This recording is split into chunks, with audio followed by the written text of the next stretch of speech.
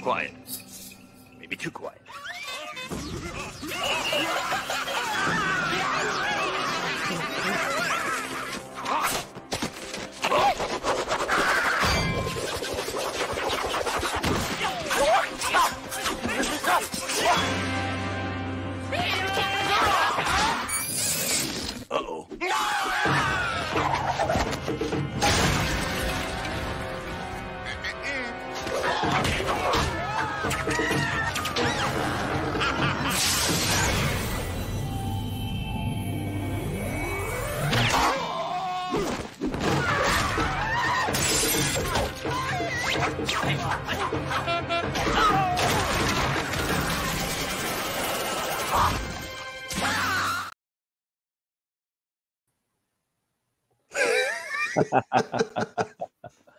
It was awesome, man.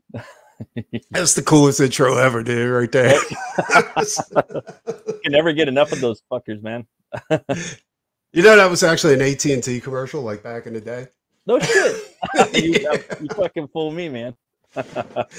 Dude, I stumbled upon that. I was like, you've got to be shit. This is the greatest thing I've ever seen. Like, oh, for sure. Drop down period, whatever, dude. I was like, nah, this has to be a Doc Salem intro. Right, right. oh yeah, man. But um, so we're going to talk about Priest tonight. Priest Yeah. album covers. I thought this would be a good idea. Here's here's why. Um, like when I was when I was growing up, like I wasn't introduced to comics first. I was introduced to metal before I was introduced to comics, right? Mm. And um, the uh, and it was it was Judas Priest, uh, Iron Maiden, Danzig, all these album covers that that inspired me to do artwork before I, I got into comics. Then I got in, and I realized, dude, there's comics. Like people actually draw shit, like you know, of spite, like the cartoons I used to watch and shit like that. So I started getting into that. Yeah. But it, like none of it came close to rivaling the brutality on these album covers. oh, You know what I'm sure, saying? Like yeah. you remember the old Iron Maiden like Live After Death album cover? You know? Where Eddie's coming from the grave and there's a lightning striking him right in the middle of the forehead. just so metal, and also EC too, in a way. You know what I mean? Oh, dude, it was it was totally EC. And all these guys, like you never heard of. And then, like after I got into comics, like some dude like showed me like heavy metal. We're playing Dungeons and Dragons and shit. Like well, a form of Dungeons and Dragons. It was called heavy metal. And uh, because this dude that was dungeon master, he was a metalhead and he used to draw these crazy ass cyborgs. Oh, and yeah. you'd have to roll to get the um the stats on them. Mhm. And um, dude, it was fantastic. You know, we used to play all this this crazy shit. And I think all of this, like, kind of kind of formed what I do now as far as my art style and stuff like that. I that. could see that, know? bro. I could totally see that. I get that. You cool. too, as a matter of fact, like with Butch Cleaver, you know, because we don't think like regular guys as far as comic art. You know what I'm saying? Like people think of superheroes, they're like spandex, you know, I Yeah. can raise shit with my head and stuff like that. We're thinking pull a bone out of your rib cage, sharpen it, and stab somebody with it. You know what Exact- Oh, for sure, bro. Take a spinal column out and shoot bullets from it because now it's a gun. exactly. Um, Man, just your art, dude. Just like the way you put your compositions together, and like you you you have your spin on it, man. It's almost. I, I totally can feel like it's like a metal album sometimes. I've seen different pieces you've done throughout the years, man. I'm just like, fuck. Well, That like that's what I'm saying. Like a lot of dude. that, people think like like when I think of Simon Bisley, like the first thing that doesn't come to mind is this Batman and Lobo stuff. Although that is part of it. Oh yeah, yeah, yeah. The first first thing that comes to mind is all the Danzig albums he did. You know, Right? Danzig loved that motherfucker's art style. Yeah, it's Like so way so before. You know, I think uh I don't know if did Simon start doing work for 2000 AD before he started doing work for like uh, heavy metal Um, uh, like album albums and shit like that? I'm not sure actually. That's a good question. That's that is a good question. I have to figure that out. to do a deep I, dive um, on that.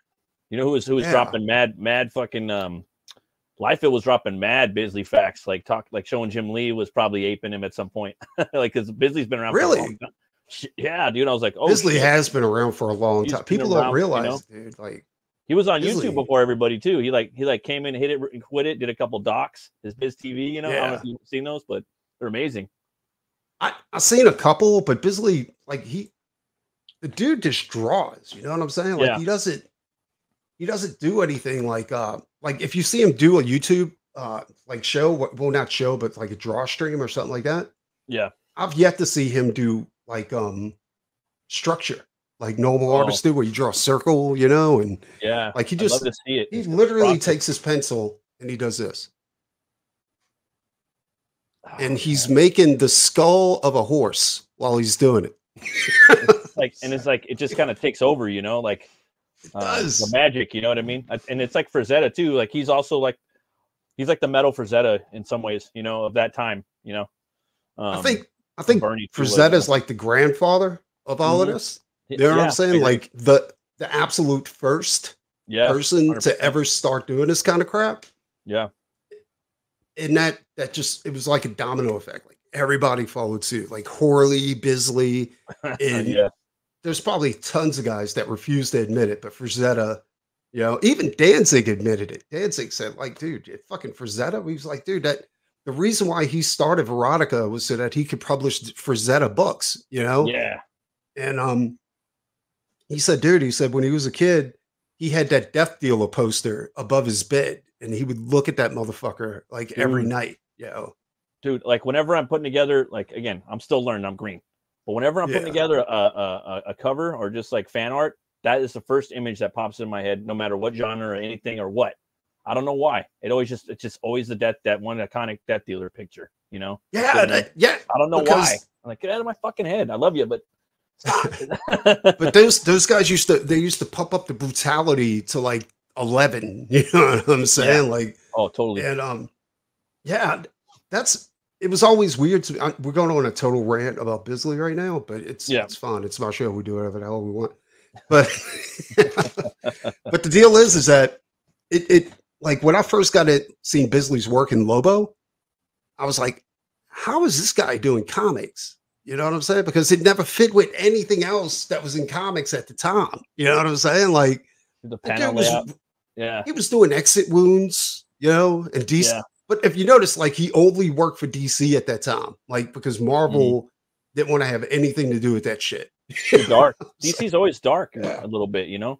I would say. I always thought so too, you know. But Mhm. everybody, er, when I was coming up, everybody's like, "No, you want to start out with DC, and then you want to graduate to the more adult stuff in Marvel." And I was like, "What?" I kind of don't. Yeah, it's like, dude, no, they got like Swamp Thing, Lobo, Demon, like they got Etrigan, Blue like, Devil, you you know, Batman. everything's all a dark. demon or a devil. Yeah, yeah, dude, it's way darker in my humble opinion. hmm Always thought so too. I think people just associated the Wonder Twins or something like that. But the Wonder Twins, I don't even think they existed in comics until they were in the uh in the TV show. You know, like the Justice League TV show. Yeah, um, or the Super Friends. That's what it was called, or something like that.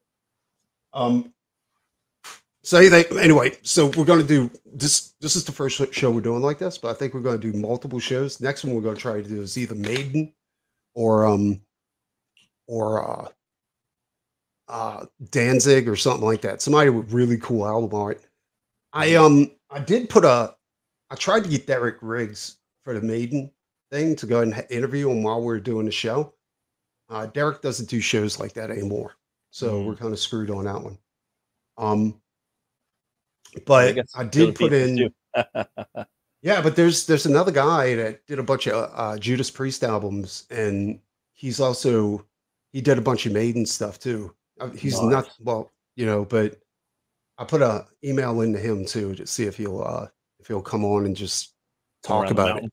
Yeah, Because I got to be honest, dude. Like when I was diving into all the album art for Judas Priest, a lot of these guys ain't around anymore. Oh no shit. They're fucking Yeah. dead, dude. That makes You sense. know? Yeah, yeah. These dudes was it 1965? I think they came out. 1974, I think it Oh, was when uh Priest uh first became popular. I guess. Oh yeah, You know? yeah. And metal. And, um, before they were doing like the different style. Yeah. But um so let's start at the beginning.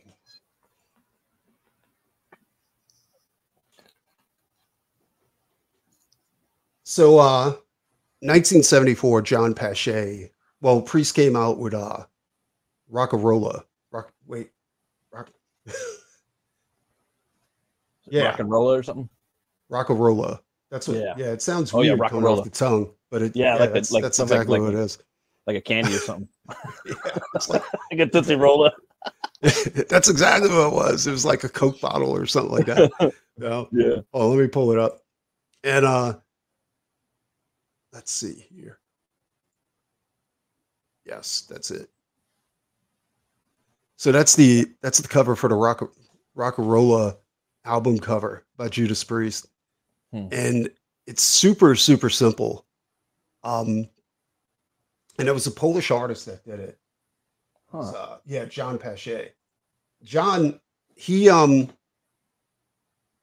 I think that was the only album cover he ever did for Priest. As a matter of fact, I did a dive on it, but like he there's there's not a lot about uh about a lot of these guys on here. Um let me pull up a picture of John to go ahead and uh show everybody. And was that a that was a painting or a photograph? I mean, it looks like a photograph. No, that, that no, that was a painting. that's, they- that's good, man. that's Good one stuff. thing I want to make a rule on. Like, um, I don't want any like uh, picture albums, like photo albums, because it's uh, I don't like. I mean, look, it's art, but like that's that's not what I want to show off here. You know what I'm saying? Like, Yeah. So this is him right here. Oh, And it, you see that, right? See what he's Yeah. signing? He That's also designed the uh, uh, fucking Stones, Rolling huh? Stones is yeah, his logo. flip on a brand, huh? Yeah, that's what he's famous for. He's not famous for the for the Judas Priest rock and roller. That's, that's the most famous like rock and roll logo right there, absolutely right? Yeah, so I think I think this guy passed away. He's not around anymore. Um, this I don't I didn't really find that album cover interesting. The one that he did for uh, Rock and Roller. It was I mean it was okay, you know.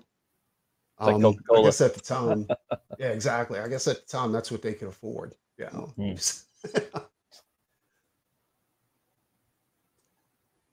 Nineteen seventy six is probably one of the best album covers I've ever seen by this band, dude. And it's fucking insane. And uh it's uh Sad Wings of Destiny. The Sad Wings of Destiny album came out by uh Priest. And it was done by Patrick Woodroffe. Hmm. Let's see here.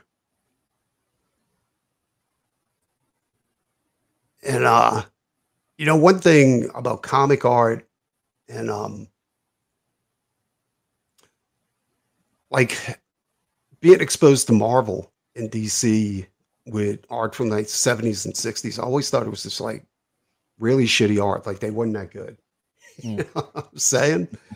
But then you start seeing stuff like this. Right. know? And then you like it's like the same thing with comics. Like you start looking at indie comics back then, and like the indie comics was blowing mainstream away. But mainstream was looking for like a more simple look. And I don't know. I mean, this is you got to realize this was before digital. Like these guys are pulling out the hairbrush and they're using beautiful. a technique where they use uh where they use film and they cut like when this guy was doing this, he had to he had to cut away each one of those feathers with Damn. frisket, right? Oh, and okay. airbrush each one of the feathers and then go back, tear all that off, recover it with frisket, and do the rest of the, the image. Like this Oh, was some involved shit. Like, Yeah, that's that's crazy, man.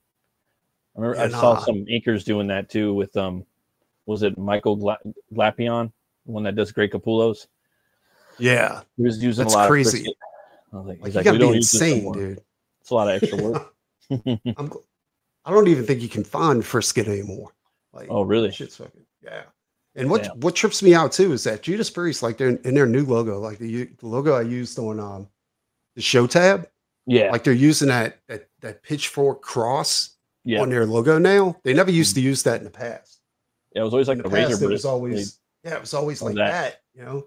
Yeah. But look on look on the necklace. Oh, there it is. Yeah, and this was back in 1974. You It's know, like one of And the I- first albums, right? Yep. yeah, yeah. This was their second album that they had, Yeah. that Priest ever put out. So they were rocking Dude, that like- logo back then. Yeah, I- wonder if somebody seen that and they're like, "Hey, you know, it'd be cool. Let's incorporate that." right. I wonder if he um yeah, maybe. I wonder if I wonder if the artist like created that that logo. You know what I mean? Like he just put it I on was, you know, that's a that's a good question. Like I never, I never realized, I never thought about that. But you're you're absolutely right. I mean, I don't, I don't think this guy's around anymore either. Let me find a picture of him. He um, let's see here.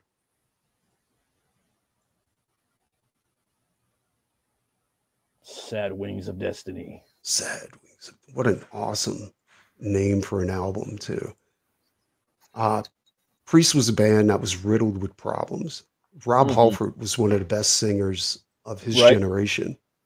Um, he's and back then during Sad Wings of Destiny and Rock Rock'n'Rolla, he was uh he was a smoker, Mm. and uh his manager told him they were like, "Look, dude, you might want to like cut the smoking out," you know?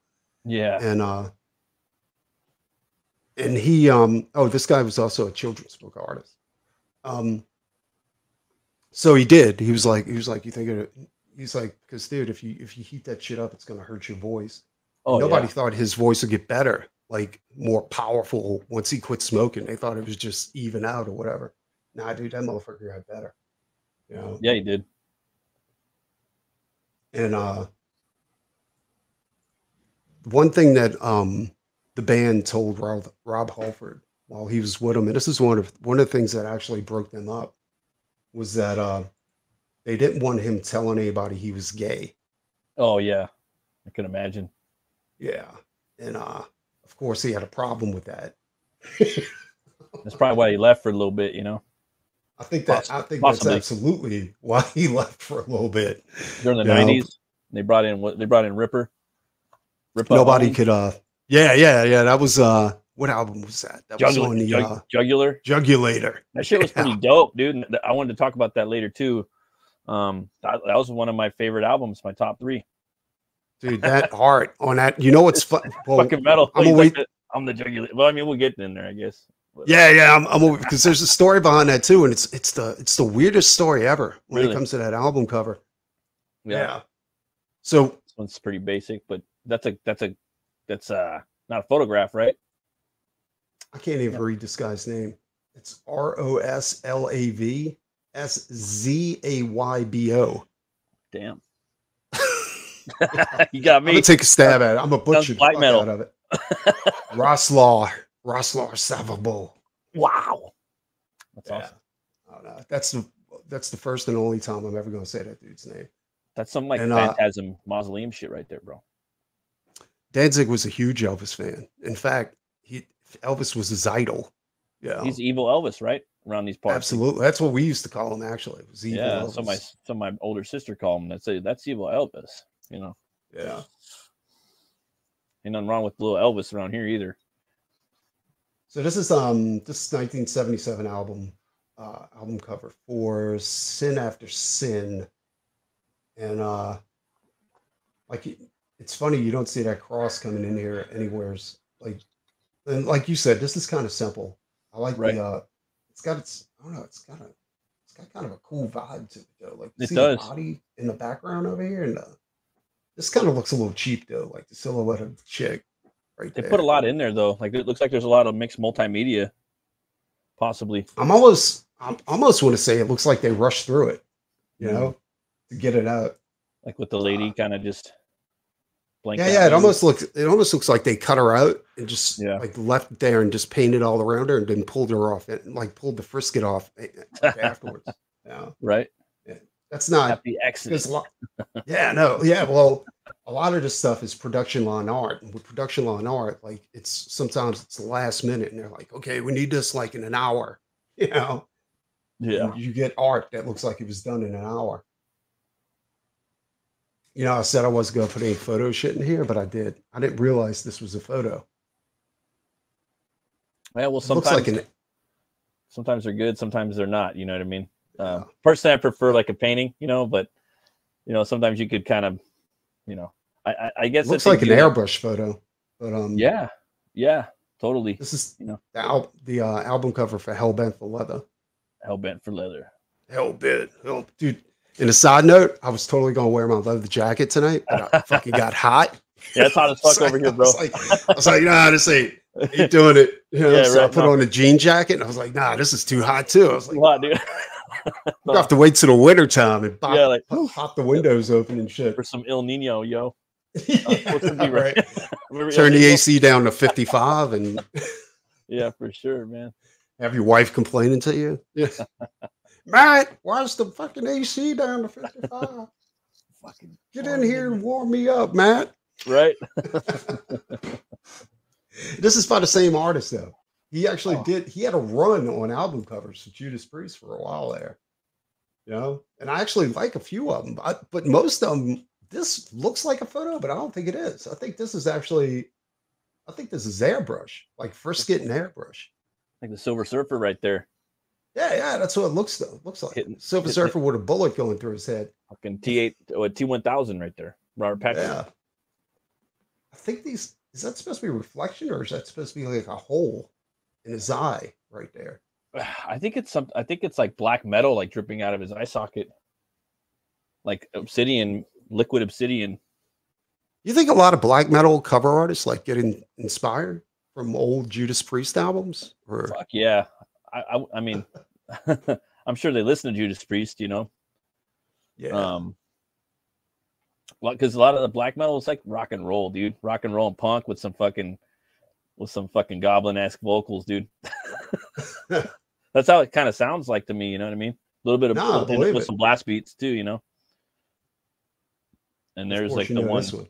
Yeah, British Steel to me, like that was that was when they really got metal, like for me, you know, like to, to, before, like I mean, obviously it's all metal, you know. We could really start kind of kicking in with that album. which Uh, which album sound. did the Sentinel? Was the Sentinel on? Oh, I'm not sure, dude. I ain't gonna lie. Two of my favorite songs before uh, "Ram It Down" and was uh, Sentinel and um, "Head Out on the Highway." Mm, yeah, I'm Um, not sure, but I do know that fucking ram it down. I like Ram It. ram it down. Like that's when it started getting a, li- a little bit heavier. Like you could feel a little Very more like the aggression in the, in the music that was was was with that album because I was lis- trying to listen to their discography, um, just to kind of touch up for the show, and I noticed that That's shit. the artist that uh well I want to say artist, but it's more like the photographer that did the But it's uh, like- that had it- yeah. it's weird though, man. Like you gotta sometimes with the with with you know just music in general, you have to like stand out, you know, and sometimes you gotta do and, and with the comic book shelf, you know, you're putting your comic book on the shelf, you want to have a new a cover that's just sometimes it's just basic. That's not something that Yeah. that's not something I probably want to do. but like for example, there's this band called Soilwork, you know, and like a lot of the Oh, bands dude, I love Soilwork. one of my favorite bands in my top three. And like one of their Yeah. albums was Stabbing the Drama, and it just was all black. It had like three little like kind of like aviator like red stripes coming, a red fist with a knife in it, and it's stabbing some fire. And they said, "Oh, we just kind of did that because we wanted it to stick out, you know. All the other stuff's really painted and things like that, you know. But that's why they do it, so you you know it sticks out on the shelf. You know what I mean? There's there's nothing wrong with that. Like I There's nothing wrong uh, with that every now and then, and if it's something like badass, you know. Now they're now you know they're, they're, the album still sells. They just pressed it uh, two weeks ago and it sold out, and fucking they're putting it on like uh grilling the drama. They're doing fucking they're doing the grilling grilling uh what is it um fucking aprons of it and shit. You know, oh, that's awesome. having fun with it. You know. When I was when I was when I started doing Comic Cons, like this was back in 2012, I think, or something like that, 20, Damn. 2011. Yeah, Um, yeah. Like the first couple of shows I did, I realized like there was nothing separating me from everybody else doing these shows, right? I Mhm. mean, Mhm. you had these guys doing prints, you know, they had the same Yeah. exact black line style that I had, you know, and digital colors and all that kind of stuff. I was like, and I'm looking around, I'm like, if I don't find a way to separate myself from these motherfuckers, you know I'm saying Yeah, like Yeah. I'm gonna, I'm gonna go down in flames, you know. So I was like, right. then uh, like I seen somebody like doing a live live demo where he was painting, you know, at a Mm, show. that's People dope. were lined up around the corner around his booth, right? And I'm like, it's like that's that's got to be me, you know. Yeah, yeah, yeah. Went home, practiced a little bit, and then the next couple of shows I did, I was I would do live demos, and uh, Fuck it worked yeah. out, dude. Like it Oh yeah, dude. big time. Like I don't know, man. Side side helps you build speed. you Oh know? yeah, yeah. Makes you fucking unstoppable fucking Swiss Army knife. yeah, But, I know, um, right? It's like I'll put on Bob Ross on like a day off, dog, and I'll like on Tubi. There's a free Bob Ross channel on Tubi. I see Put that, on dude. Some bacon, some coffee, my you know. I don't know. I Dude, you can it. learn some Love it. shit from Bob Ross, son. Oh, yeah. oh, totally, dude. Totally. I try to like, uh, like I'm afraid. I'm I'm terrified of painting. Like one, that's one of my like one of my goals is to learn how to paint someday. You know, that's yeah. my another side quest. Real quick, my my goal is to like retire someday. Like maybe like like um France, like um you know Italy, somewhere Spain, like right on the water. You know where I get to go meet the baker and I sit there and I paint fucking Frazetta shit. That's what I want to do. that's what I want to do. The- Just chilling, dude. You know. Honestly, to me, paint is the most forgiving form of media. You know what I'm saying? Like, yeah, because I mean, if you fuck up, you just paint over it. I heard that inks are the hardest. They say inks are the hardest one. Um, Inks? What? Well, no, that, inks are very unforgiving because you. Here's the thing: like sometimes you can mix medias up, mediums up, Mhm. right? Mhm. So if you're going to do that, you always want to go first with water, and then you want to go over it with oil, if that's Oh, how you want to do it. Never go oil first, then water, because it'll the, the oil will repel the water. I made that Mm. mistake. Um, but if you're just doing like regular just paint with watercolor, the- what are the general rules, which I break all the time, is don't go thick on color, right? You don't want to pile paint on. You want to let it just. That's why most watercolors look washed out. You know, um, with me, I, I don't follow that rule. You gotta be patient. You gotta be patient. It's kind of like a virtue with with painting, right? Patience a little bit, or no? Seems like it would be. I don't know because I attack shit with color. You know what I'm oh, saying? like yeah, I'm just like I see it just go into it, you know, and like where other guys sit there and they contemplate and shit like that. I'm like, Yeah. blue and orange work together. Yeah. Oh, fuck yeah, dude. Yeah, yeah, yeah. I love that, man. Like for me, the blue and orange, that's fall. That's Halloween. You know. I also well, another like, thing too is nocturnals and shit. You know what I mean? Yeah, Brereton, exactly. Brereton, that dude. That's his. That's his palette. You know. But um, yeah, I don't I don't spend like like I was talking to Angel Medina one time, and this is Angel's not a painter. Angel's a, a penciler. You know, you know who Angel Medina. He did, he did Kiss, Spawn, Oh yeah, all yeah, that yeah. kind of stuff. Angel said he likes to wait to the last minute to get his pages done and just like cram it in there because he's like, when he's in a rush, he doesn't have time to think and it, it's Yeah. organic when it's coming Yeah. out of his head. Yeah? It's guttural too. You know what I mean? Yeah, yeah. It's He's like, it's like boom, boom, boom, boom, boom, boom. It's all energy and like it's it's yeah. primal. You know. No, he I said it's he said it's more like instinct instead of Instinct, technique. You know? Yeah, exactly. Yeah. yeah. ar- And I've seen Angel's work, instinct. dude. Angel's work is fucking I think it's the same thing with music too, bro. You know what I mean? Like, um, I Mhm. think it, it has to do with overthinking shit. Like, like you're saying, they're like, hmm, you know, like I think sometimes that's not a good thing. You know, I think sometimes it's it's get in there and maybe that that that one riff, maybe it's just that one riff. Like you just need to just cook on that riff, and that's that's the that's the song, dude. pretty much like that's that's a, like when i used to play music i uh like sometimes you'd follow the rules you know it was like chorus verse chorus verse whatever and then solo and then you know back to it put a bridge in there somewhere Yeah, um but the, the main rule that i had when i when I, I formed the band was one no covers you know two yeah, same here. Yeah. I never wanted to do covers. no like, because i I mean, and then i'd be like well if we knew covers we could go play at blah blah blah and make Yeah, a little yeah. money i was like Same It's like, yeah, but who's going to remember you for playing the best version of, you know, fucking Children of the Grave or whatever? I you mean, know what I'm to saying? be honest though, I kind of wish we did do some covers. Just, just like I don't know. I there's just like a little, you know, sometimes you just want to do things because like just yeah. to know what it felt like, like in Well, retrospect. but we never did. I was just like, fuck that. I don't want to do no fucking covers. You know what I mean? well, with the guy that I'm playing with now, Yeah. like I convinced them to do covers because now I'm at a point yeah. where if you don't have anybody to play with, you, Yeah. you play covers. You know what I'm Yeah, saying? Because yeah, you can play along with it. It's Yeah. fun, you know. Throw a couple in there, especially if you do like a spin on something that might be something weird too. You know? That's what I'm talking about because we we did a version of uh, uh God's Country, you know, the country song God's Country. Mhm. And it was like tuned all the way down. It was like, you know, Oh yeah, yeah, yeah. Fucking heavy. Have you heard, badass, have you heard dude. of fucking um the DevilDriver's, Ghost Riders? Um, Ghost Rider, Riders in the Sky. yeah. Yeah, yeah, yeah. I heard that. I liked it too. I thought it Oh was no, Outlaws badass. to the end. The fucking whole album is is is is uh is their style. Like they, it's called Outlaws to the End, Volume One. They got like Hank Williams the third. Like I don't know if you heard that album, but it's fucking it's dope, dude. It's all country music, but DevilDriver style. Well, I was telling a buddy of mine about that. I was like, "Yeah, dude." I was like, "We're we're doing we're going to do covers," and I, I I was trying to get him to sing. And nowadays, you don't need people to like be around you to be able to sing. You Yeah. know, like or play music with. Like you can do it on like what we're doing now. You know. yeah, hundred percent. uh, but um, on, wait. Let me find the next one. Yeah, you can do it all online. And I was telling him about what we were what we were doing as far as like taking covers and just fucking them up. Yeah, yeah, totally, totally. And he was like, dude, he was like, I was in a band. We did that exact same thing. You know, we turned everything punk. Yeah, turn it all punk or metal or I mean, there's so many different genres you could do. You know. Oh, dude, it's a blast though when you're doing shit like that. Like it's like, you know, because everybody knows the song, but then they they're like, that's Take not how you play it. Take a Depeche Mode song and fucking turn it metal or something. You know.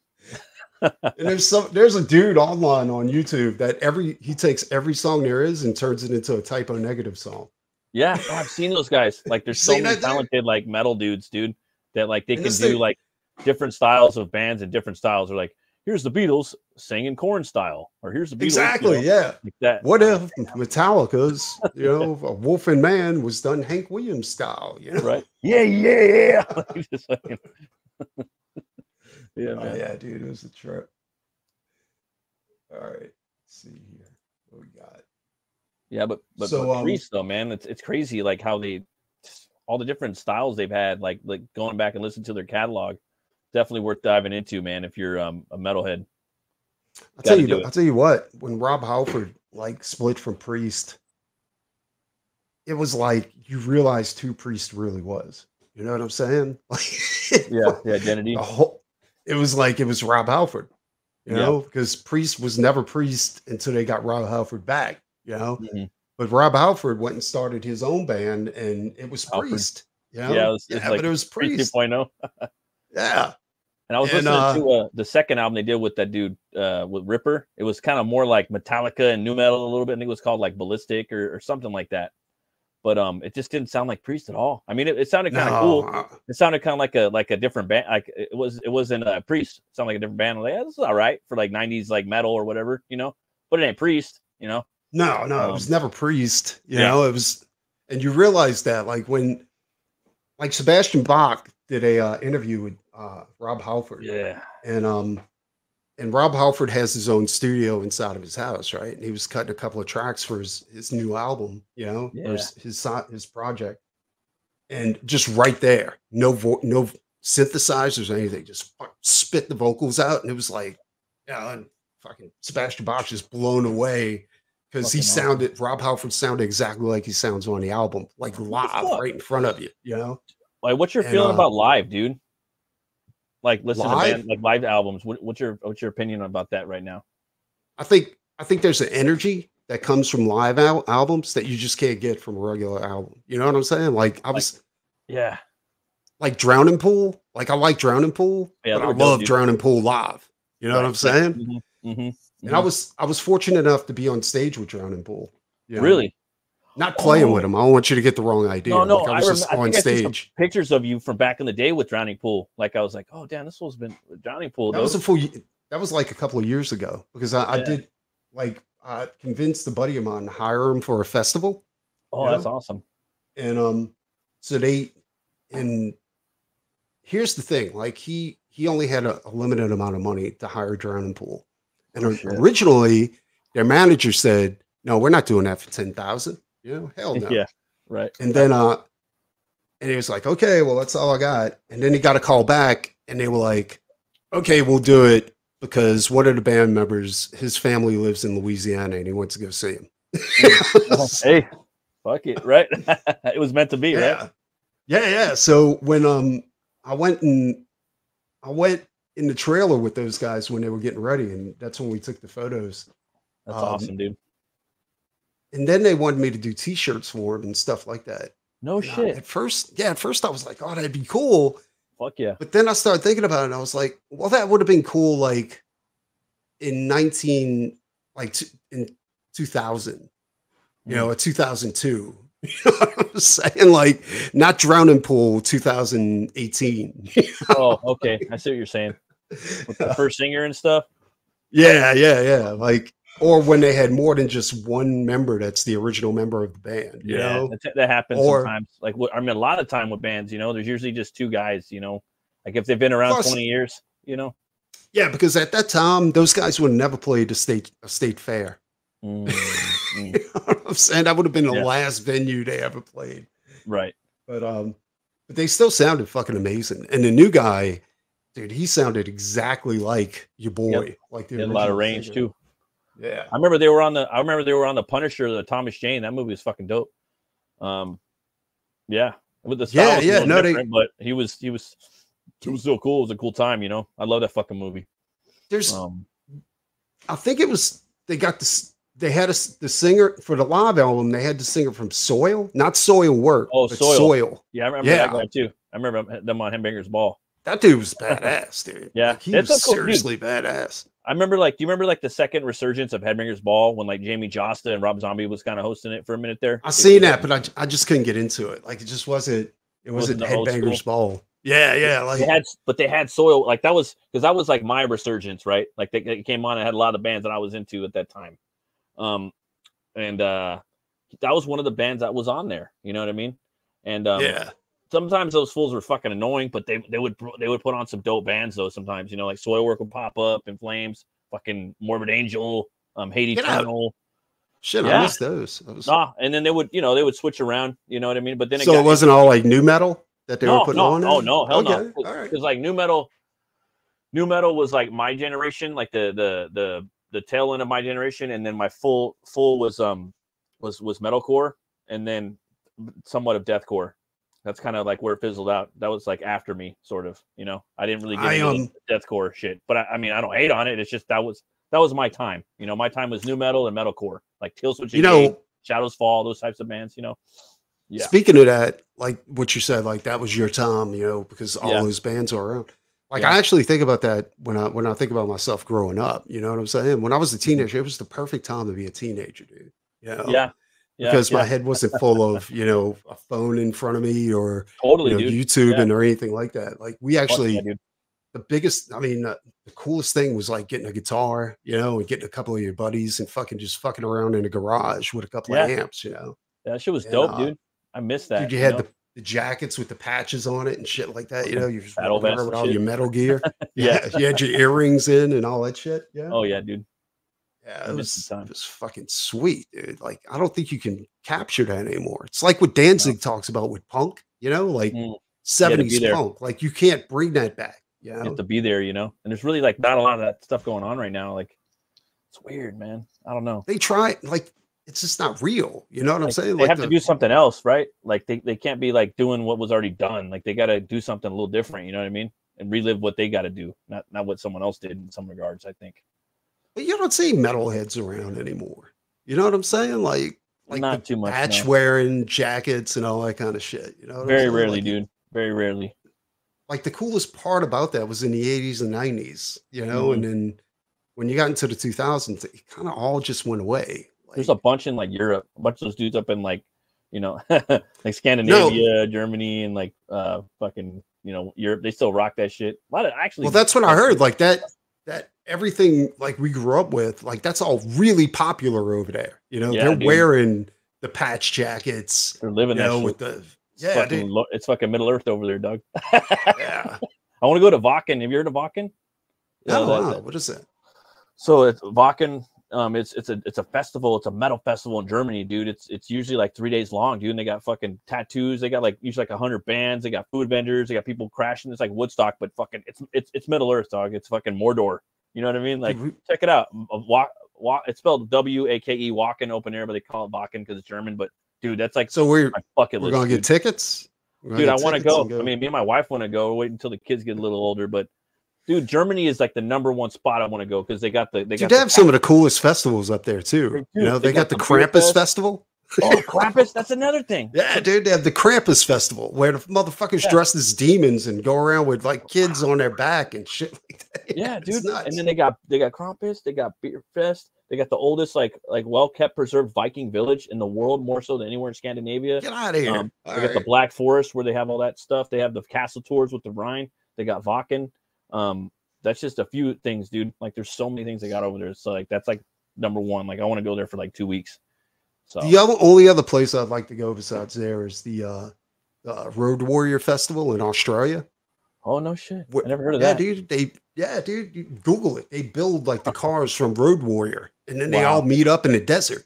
That's know what I'm fucking- That's that's some hardcore shit, dude. That's Some like fucking uh, fucking crazy shit, dude. that's like the Max, dude. Fucking Pangea. Remember the Max? oh yeah, yeah, yeah. Shit was dope. God, I love man. this album cover, man. Yeah, this is by um, was his name? I think it was Doug, uh, Doug Johnson. What is what, Uh, what Doug uh, Johnson. What is that pastel and and what, what would you say that is? It's paint, airbrush? airbrush all the way, huh? Yeah, they used uh, airbrush like crazy back. Like the airbrush was the best. Dude, I came in at the tail end of airbrush and I still Yeah. made money. You know what I'm saying? But I never Yeah. did all this stupid shit. Like I free-handed everything. Um Mm. this this is this is what I was talking about right here. This is the epitome of what I was talking about. Like everything's like you know, it's it's all Plotted out, right? circles and The squares, but it's it's app they used to take a piece of uh illustration board. An illustration board was about maybe quarter inch thick. No, no, not that thick. Probably an eighth inch thick. And Mhm. um and that that was the hardest thing to work with because I tried it and Yeah. I, I just I quit. I just It's just, just fuck it, huh? Well, yeah, because every part of that had to be cut out in little pieces, and then you know, Yeah. and it was just a big pain in the ass. I was like, nah, fuck off. I had probably had an opportunity to learn how to airbrush like when I was younger. My brother-in-law had like a, a body shop and he worked for a lot of body shops throughout Southern California. And they were doing airbrushing. He was a good artist too, my, my brother-in-law. He used to draw like just really good, man, like like Farland style and things like that. And yeah, and they were they were doing airbrushing and but I just never I never got into it. I don't know. I was I started. again, intimidated, you know. I I was. That's the one thing. That was one of the rules of mine when I when I decided to get into art and and do what I, I do, is to be fearless, right? Like Yeah. if there's something new out there, like learn it and do it as the best you can, but do it if you know do it. Don't like shy away from it. Like once you commit to something, embrace it and don't Yeah. like you know Commit to the bit. Exactly. Like when I did airbrush, the first first couple of jobs I did, because you got to realize, dude, I'm I'm intimidated because I'm working on like that was during the, the height of the chopper, you know, yeah. craze when Yeah. people were buying these choppers for like sixty or seventy thousand dollars, you know. American like, or oh, was it was it Orange County choppers and shit? Like, yeah, it's just big all over like pop culture, world oh, dude, it was nuts, dude. shit. Yeah, And all these builders were making tons of money, you know, because it's not that hard to build a chopper. You know, you Mm-hmm. make the jig and you go ahead and you put the you make a frame from the jig and shit like that. The motors weren't that expensive, you know, and then you you're selling this fucking thing for like eighty thousand dollars. Um, so anyway, like I had to do tanks and all kinds of stuff like that. And I was very intimidated. Like I would project, I had a projector and I'd go in a dark room and project the image onto the either a hood or a tank or whatever, and go back and airbrush it from the from from the uh from the, the pencils that I did on the uh from the projection. it's awesome. But after a while, I was like, like I was like, this ain't working, dude. This is this is just it's too much in the process of doing this, right? So eventually, I got to the point to where, dude, be like, I want this phoenix on my hood. the right? Phoenix, right? yeah, yeah, no, because they there was a couple of times I had to do real fire and phoenixes and all Yeah. kinds of shit like Or the that. smoke, the smoky skulls and shit. Yeah, yeah, I, dude, I could show you pictures. Anyway, what I would do, I would print it out on my computer, tape it to the to the end of the hood, and just freehand the whole thing. That's Right? dope. Yeah, just get in there, just get in there and say fuck it. You know. Well, the guys that would hire me, they started getting pissed. You know what I'm Hmm. saying? Because they're like, "You said it would take eight hours," you know. And now I want you to keep this in mind. Like I would quote them a price, and I was a ghost, right? I'd come in the back door, do it, leave, and they'd take credit for it. You know, I didn't care as long as I was getting paycheck. You know. So I'd charge a hundred dollars an hour, basically. Except I never charged them by hour. It was just like whatever I thought it would take. That's how much it would be, right? Yeah. So I, if they showed me a hood and they're like, I want this on the hood, I'd be like, well, it's going to be $800. Right. Mhm. And they're like, okay. So they take my price, bump it up, get paid by the customer. Now, remember, they bumped it up to make a profit. Right. Right. Good. I would go 3,000. in. I got so good and so quick that I would finish that shit within like four hours, right? I'll show dude, I can show you pictures. As soon as we're done with this, I'll show you pictures. They started getting pissed because I'd be like, all right, finish, pay me. They're like, but it, you only took four hours and you got here late. I was like, bitch, I don't work for you. yeah, I'm, a, I'm, a, I'm an independent contractor. yeah. Like I did the job. It's like you know, Yeah, I it's can't done. The customer likes it. Pay me. You know, Yeah, it's and that became matter. a problem. You know. People hate. man. Anyway, so this is screaming for vengeance, and yeah, I love that, dude. fucking- I love that. Well, this was a- artist, you, you notice like he's got a style going. Oh, all Oh through yeah, this. and this one too. This is the one prior, right?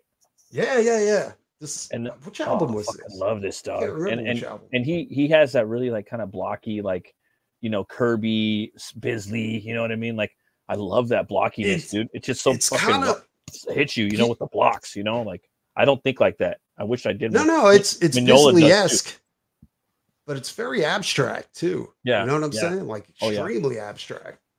Yeah, But it's, definitely. it's got kind of a Japanese feel to it. Oh yeah, huh? Definitely. Especially like the shoulder bit. pads and stuff, like the the the armor. You know, And the look on his And face, then, it's uh, almost like a samurai mask or owning yeah, that. yeah. It does look like a samurai mask, doesn't it? It's crazy. And then you got the fucking you got the Gatling guns coming out the armpits. And the right there. tank trench. fucking treads. metal, bro. This You know what I mean? This is what I'm talking about, dude. When you Oh. when you're a kid and this is what you your influences are at the time before you get into comics. You know what I'm saying? Like Like like really- Preston. Hey, would you would you read a Would you- fucking com- comic about this guy? Maybe. Yeah, probably. Like, in fact, I have. dude. It was called the ABC Warriors, Oh, uh, 2000 AD. It was Yeah, sick, dude. Yeah, and then he that's- pumps this bullshit out. I don't even know. What it's like this a- is the Turbo album cover. yeah. I wasn't really feeling that. Yeah. I mean, I, I like it. I Yeah. just once you go from That and then you go to the uh yeah, Defenders dude. of that's what it is, Defenders of the Faith album. Oh, right? man. Yeah, dude. And uh and then you go to the, t- the Turbo, like I don't know, dude, like that. I'm just Like, like, it again, like looks that- like he's holding an ice cream cone instead of a stick shift. again and it's like it's like it's that one that's going to stick out maybe maybe but again we're talking like the 1980s at this point so there was similar like type of iconography in um you know metal and rock at the time the colors on this are Yeah. awesome now that would be on that would be dope on like a on a, on a black t-shirt you know even a white Yeah. t-shirt would look pretty cool you know You know, it's funny. Like I had a one of the motorcycles I had to do it was a Harley, and the Mm. guy wanted the uh, Pink Floyd um, "Dark in the Moon" like Mm. album cover on his on his tank. yeah with the triangle So you know which one I'm talking about? Well, yeah, with the triangle and it light goes through one end and and the shit. prism. Yeah, and the prism Yeah. comes out the other where it's like a rainbow. Mhm. And um, what was the pain in the ass about that is that I had to do it on both sides and make it look exact, right? yeah dude This guy was getting compliments all over the place. Would you believe that motherfucker came back to my house with a ruler and measured each one of the lines coming out the other end of the so it's oh like, oh my god don't you see, like this one isn't as thick as that? I was like, dude, what do you want me to do? I was, I was- gotta be fist fucking me bro like get out of here like, you shit. fucking kidding me right now? It was, like but I ran I'm into a- it's like i'm a machine but i'm not a robot Get fuck out of Dude, there was a few customers like that where I had a I- like they were just super super anal, anal retentive when it came Yeah. to shit like that, and I was like, dude, you guys, It's like, bro, the human eye, like, again, this is a motor to fuck cycle, bro. Like the chopper, I'm be flying down the highway. They're not even gonna fucking, you know, what I mean, even one of the things even, I liked about doing choppers was that you couldn't look at both sides of the tank at once, you know. Mm. So you Yeah. didn't quite have to match up. It just had to be like kind of close, you know. Yeah. like for me though, like I get kind of like it kind of bugs me out when shit's like hundred percent perfectly synced up, and that goes for any type of art, any fucking thing. Like I just. I want to see something a little off, like a little off skewed, you know what I mean? Especially with like the human hand and like like like digital art and stuff like that. I'm not talking AI, but I mean just digital art. Everything is full so so like what's the word? Forecasted. Symmetrical. It's too symmetrical. symmetric, it's too symmetrical, forecasted, and like set up to where it's all pulled back to one vanishing point and like, everything just perfectly like like I like a little That- choppiness in there. That's one of my biggest pet peeves about digital art too. Like when I used to use like uh, Manga Studios and stuff, because I did digital art before I went Yeah. back to doing traditional, right? It's cool too. It's cool. I mean, but I'm just saying, like you know, Well, I mean, we could say it's cool, and it is cool to a certain extent. But then you get the mirror, uh, you know, tool where you can draw an eye on this side and it comes out on the other side too. So you're drawing a face that's completely and perfectly symmetrical. You know, Yeah. real life isn't like that. Yeah. We don't work like know? that. We all got one eye up here and one eye down here, you know? Exactly. And it's beautiful. And that's beauty. You know, it's just That's my that's my that's my main complaint is that art isn't supposed to be perfect, you know, and Right, people yeah. keep forcing. I mean, when you say like something like like this art is perfection, you're not saying that it's perfectly yeah. symmetrical. You know what I'm saying? You're saying that it's it hits the right points in your brain that makes you feel something. You know? Yeah, it's a visual feast, dude, and it's like giving me dopamine hits because that's so fucking Exactly. Yeah, because dude, you can look at any one of Bisley's pieces, and neither none of those motherfuckers are going to be symmetrical. You know No, and it's and again, like, and it's big and choppy, and you know, and his his compositions, like oh, and this is it right here. Like this is the one we were talking earlier. This is the one, your favorite, right? One of your favorite albums, right? oh, dude, dude, this is uh Mark Wilkinson, and this is the guy I put a call into to see if I can get him on here. Because what I want to do eventually is I want to get into, I want to interview the artists that did these covers. yeah, yeah, and um, dude. Pick their brain, like, dog. Exactly. Like, because I want to know how they got into this. How, Yeah. because you got to realize, like, back then, this was before the internet. You know what I'm Mhm. saying? Like, this Yeah. shit, you had to do shit by mail order. yeah, no, dude. I, I, I'm or all you had to live around, you know, the record studio and shit like that. You know? all the artisan tricks, dude. You know what I mean? The the Renaissance Yeah. tricks. That's what I'm like. I'm I'm I'm trying to dig up. You know, what I'm talking. Yeah, yeah, yeah. No, it, it's it's crazy because and back then I was like, how does anybody how did anybody get a job in this fucking field? Or even comics, you know, because comics was worse, dude. Like Yeah, like you um like if you lived in a different state, like you had a fucking like FedEx the shit overnight, you know, or to make your deadlines and and then you had to submit and submit like listen to Todd McFarlane, dude, when he talks about how he used to submit to fucking Marvel. That Yeah. motherfucker, he said he used to put out like t- 10 submissions every a month or something like that. yeah, And you're Yeah. talking about three page submissions, you know, Yeah, so or four page submissions. I mean, that's where his quickness came from. Yeah. That's why he's like, Like- I ain't drawing Spawn right now, dog. I drew Yeah. a bunch of shit. He's like, I put all, I paid my dues. You, know, you guys can bitch as much. I'm rich, bitch. Yeah, I don't blame him. though. I'd be doing the same thing. Dude, Ram It Down was like, I liked Priest before because of certain songs like Sentinels, you know, Head Out on a Highway, all that kind of bullshit. But Yeah. when, when fucking Ram It Down came out, dude, that first song on there, oh, dude, it, it hit you, it hit you it, right in the fucking face, dude. it was like crazy. And I, I don't know I if it was noticed a this big album. change, dude. It's heavier. Yeah. Yeah, you noticed that? It's like Yeah, definitely. The music got like just a, a little bit heavier. Just, The art you know, changed, too. like, okay. like they hired a new cover artist to go ahead and do their work. And um Yeah. the uh they also I don't know if you heard it, but they also did a version of Johnny B. Goode.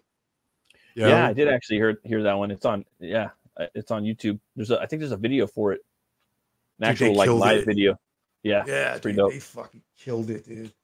And uh it- but they used the same artist for the next couple of actually all the way into 2018. So they used this artist all the way into they until now, you know, He's until their solid, last like- album.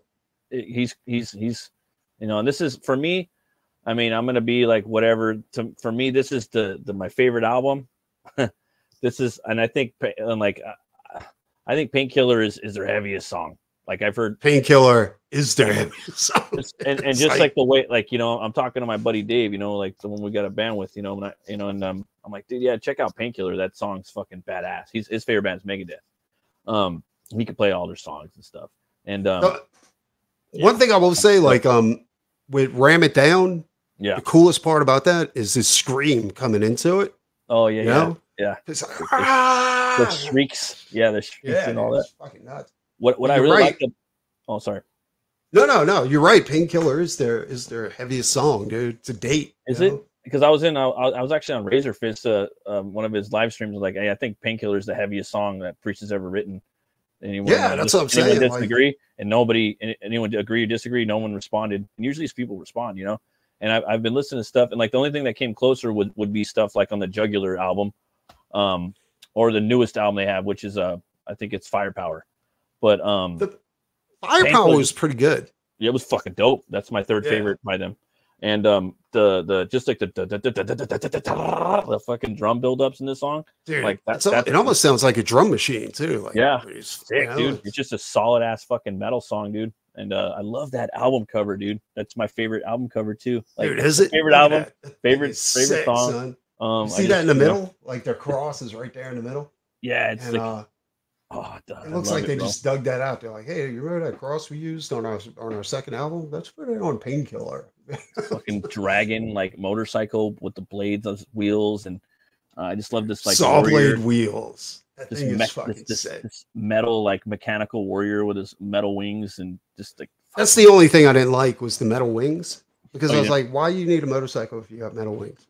right, and it's it's obviously flying through space with right or flying Looks like he's flying over hell. You know what I'm Yeah. saying? Like, cause you see the cityscape like just melting into the lava and shit. totally like. Like, totally hell on earth, hundred percent. Yeah. And uh, but Yeah. yeah, dude, that, that's yeah, You see, this is like Ram It Down was badass. Like the album cover was Yeah. badass. Music was killer. exactly. When Painkiller came out, hmm you have no idea how many times a young Preston Asevedo was trying to fucking draw an album cover Yeah, over it in his notebooks at school. Oh yeah, for sure. And and I heard too at that time that like when this came out, like they had um it was like a comeback album. Like uh not um basically like there was nothing like like it at the time. You know what I mean? Like the last album was sick, but when this came back, it was just something Painkiller totally was shit, dude. it just think it just it just hit hard, you know. there was a lot of songs on there too that were just fucking crazy, but none of them equaled like fucking Painkiller. Yeah, know? and I think like as a in a band, like in like now, I think your first song, dude, that has to be the best song on the album. Your first song, because that's the one that, that they're gonna listen to first, you know. So you have to put that in there. Your first, you know. I know like bands lost a lot of money when things went digital, right? Mm.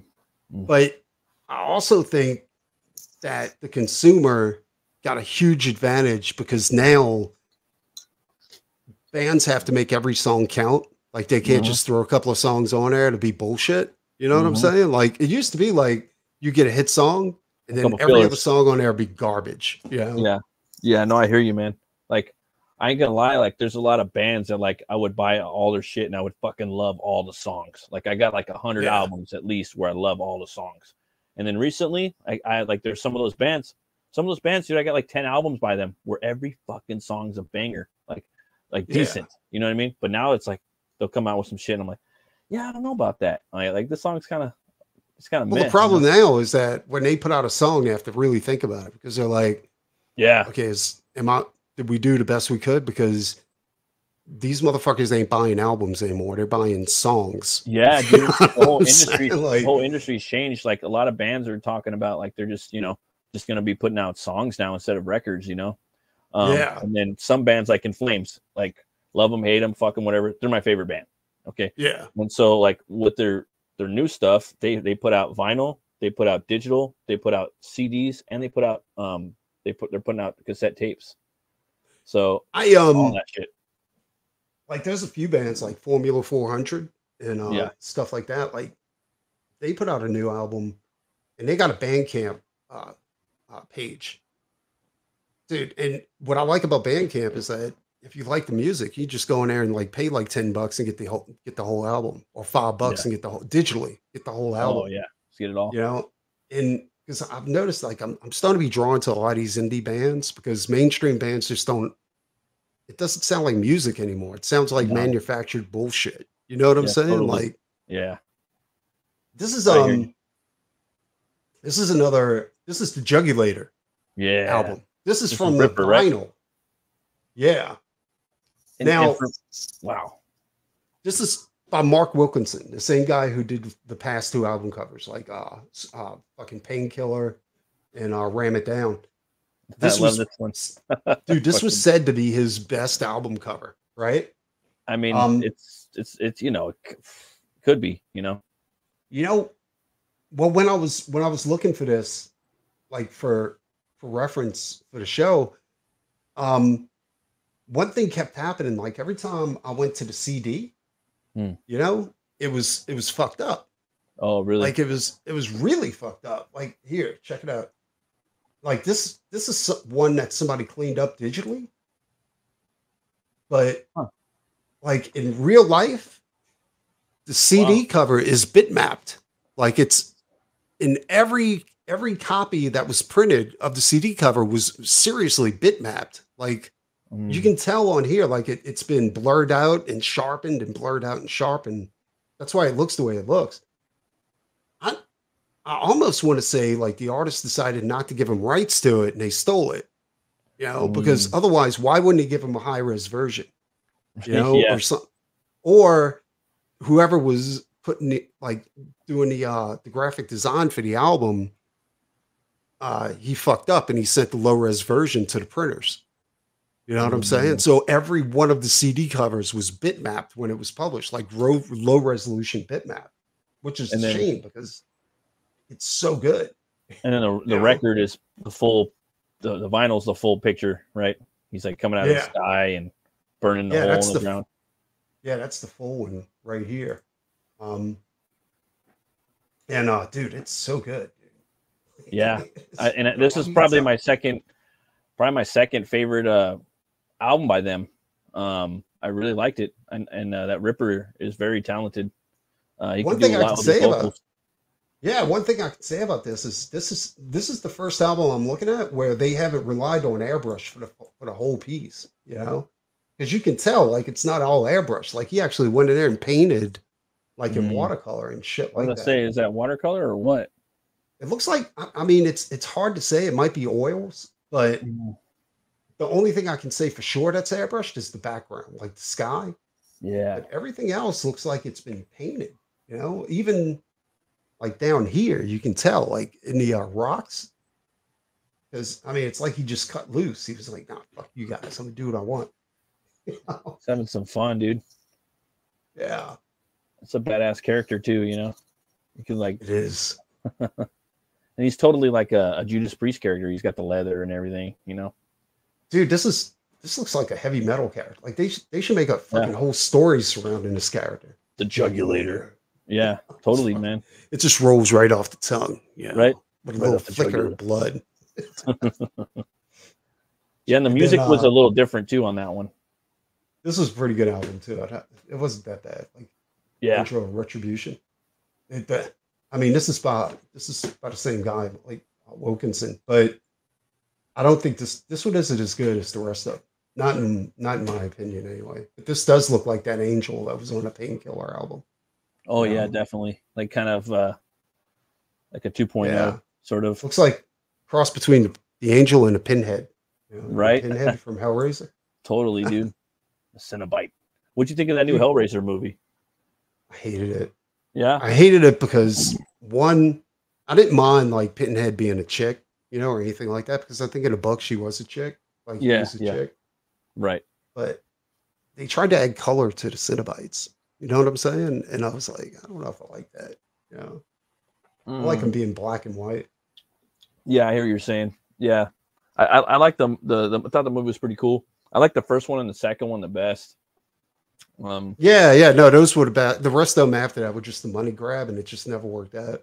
and I would say What the trips remake me out, put at three, maybe.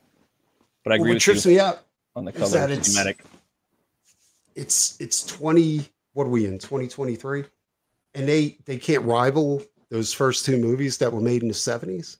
Yeah, Dude, like- and they got to rebrand and just remake new shit. Like nobody wants to make new movies, like new IPs anymore. You know, I'm, I'm all about making some new IPs. You know, like Exactly. That's what I'm about on, too. dude. But if they dude, if you're gonna I mean, you gotta realize like these guys, like every effect that was used in those first two Hellraiser movies were done traditionally. Like they were Yeah. literally pumping blood through people, you know, fake blood with tubes and all that shit, you know? that first. I mean, like to be on. I mean, okay, so like the first one, the second one. The first one is just like the, the best. The first one's just the best. Oh, You absolutely. know, like he's up in the attic and like the whole scenes where he's just like, you know, coming back together and all the blood like you're talking about dripping through and it's reanimating him. Like just oh my god.